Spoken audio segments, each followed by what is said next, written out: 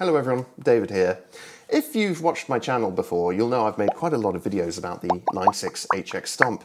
I think it's a great bit of kit, really good value for money, and it's kind of revolutionized my gigging life because I don't take a big heavy amp to gigs anymore. I just take a pedal board and I use the amp simulators that are built into the Stomp. But I've got a gig coming up where I play acoustic guitar and it got me wondering, is there any point taking my pedal board along to a gig where I play acoustic? Because I'm not going to be that reliant on effects um, and distortion. Um, but the short answer is yes, there is a point in taking the HX Stomp along, um, and I'm going to show you why. So first of all, if you do take an acoustic and plug it directly into a PA, and whoever's running the PA doesn't have any nice effects like reverb, you get a very dry signal, something that sounds like this.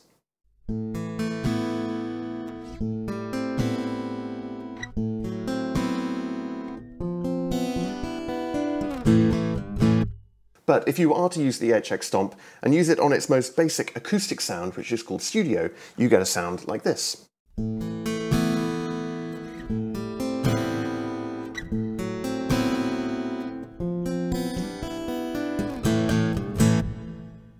So as you can see, it's kind of the reverb makes the biggest amount of difference and it just makes it a much smoother kind of sound. Um, but there's also some other effects in there like a compressor, which can reduce the impact of the loud noises you make. So let's have a little dive into this patch and see what makes it interesting at all.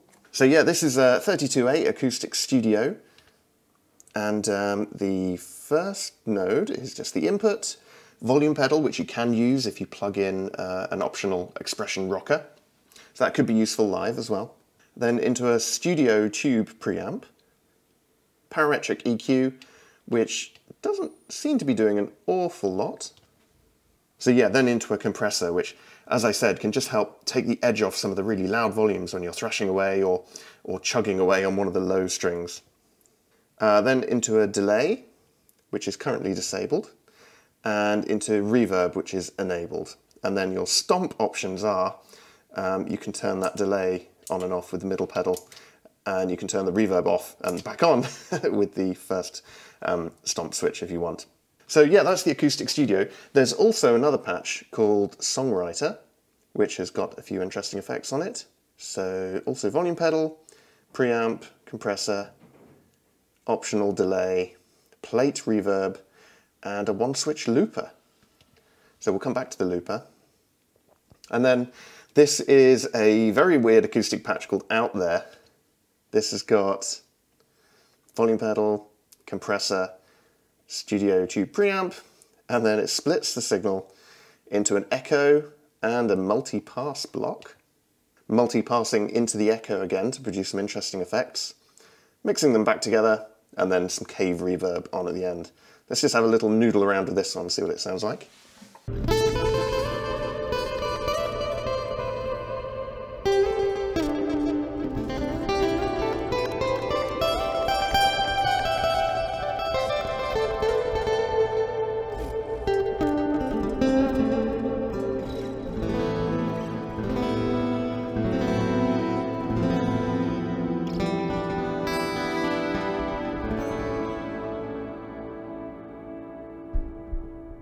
Uh, very nice bags and bags of echo and reverb. So yeah, if you're playing solo and you really want to fill out the sound, that patch is kind of useful for you.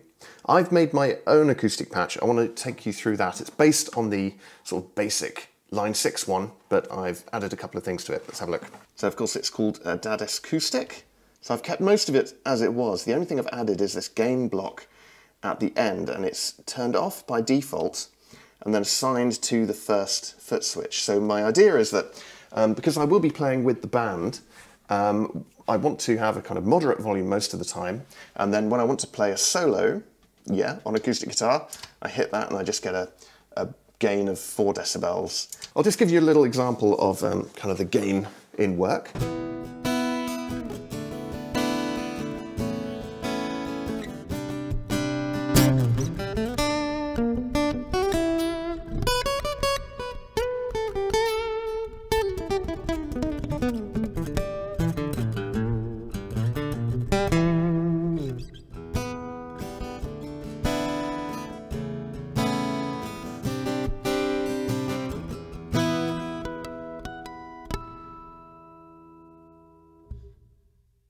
Okay, so that's why the gain is useful. Just gives me that little edge when I want to play single notes that don't have as much oomph.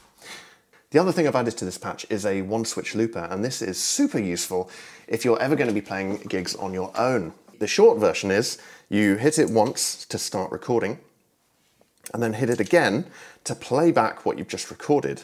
And then you can hit it again to overdub on top of that loop still, and again to go back to playing it. And then when you want to stop it, you double tap. But as you can see, it's quite difficult to double tap fast enough. There you go. And if you want to clear the loop, you double tap and hold.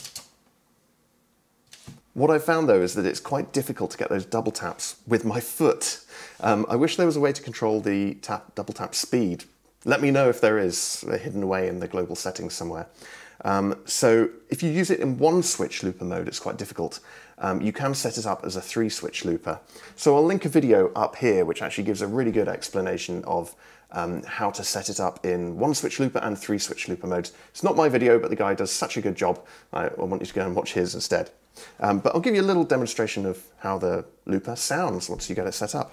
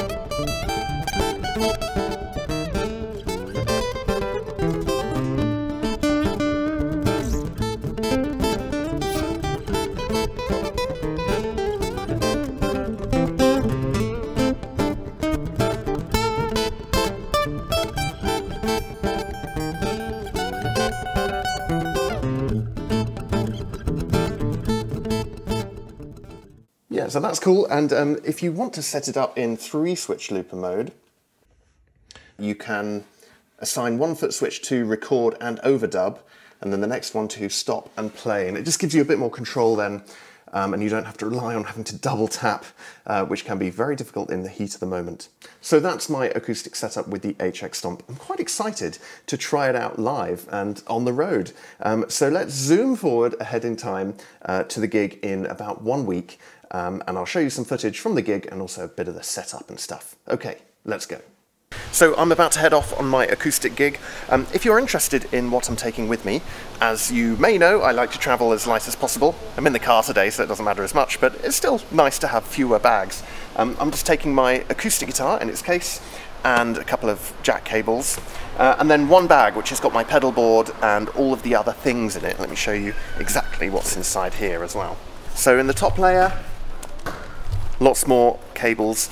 Um, you definitely want at least a couple of spare jack cables um, whenever you go gigging because even if you only break one and need a spare, someone else might need a spare as well. In the middle layer, we've got the pedal board itself and then stuff for um, monitoring the signal. So this is like a tiny mixer with headphones, power cables, guitar stand, stand for my camera, and then an extra foot switch for the stomp, and then XLR and jack cables, like little patch ones. Today, I've got a bit of a drive ahead of me, so I'm going to head off the two hours to Cambridge now. Let's go. I don't know if it's a particularly British thing to do or not, but it's kind of a tradition to stop at a motorway service station on the way to your destination, uh, where you can buy many overpriced but delicious treats, um, and that's exactly what I'm going to do now. So we have arrived. Hello. Hello. Hello. Hi. Michael, what have you got over there? Did we bring the big mixer last time? Uh, we had a, a smaller mixer than this, but pretty much the same kind of thing. Okay. Uh, but that broke, so I've got a new Oh. one for this time. One power cube. I'm going to be playing the uh, the the famous upright. This, Right. This is going to be lovely. So yeah, this is it's all kinds of fun. So yeah, that's That's what that does. Are you looking forward to playing a real piano? I am very much looking forward to playing this. I'm playing with the pedal on. Oh, Pedal on the the pedal for not disturbing the next door neighbour. that's very considerate. So it's quite a nice, interesting sound. Very. Uh,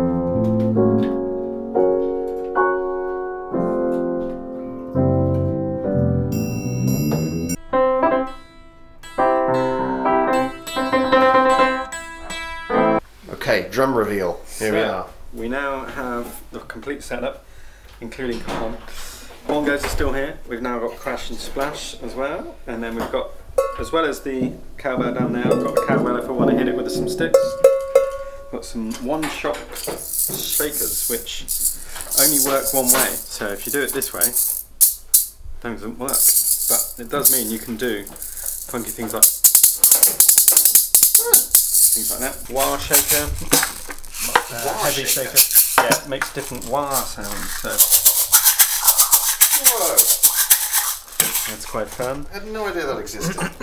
Did I give you that then? You did. Because I have three of those on. Yeah. Then you've got these. Those are quite fun. And then we got some more wood blocks. We've got two tambourines, one to shake, one to hit, and then wind chimes and triangle. wow. There we go. Very that nice. completes the setup.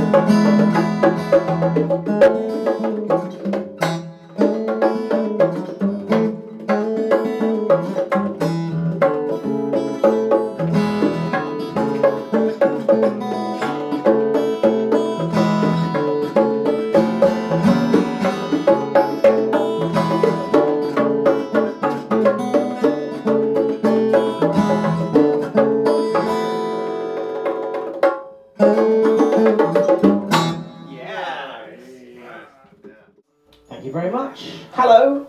Hello. We are I Am the Manic Whale, and we're delighted to be here and to be making music uh, together and playing music for you this evening.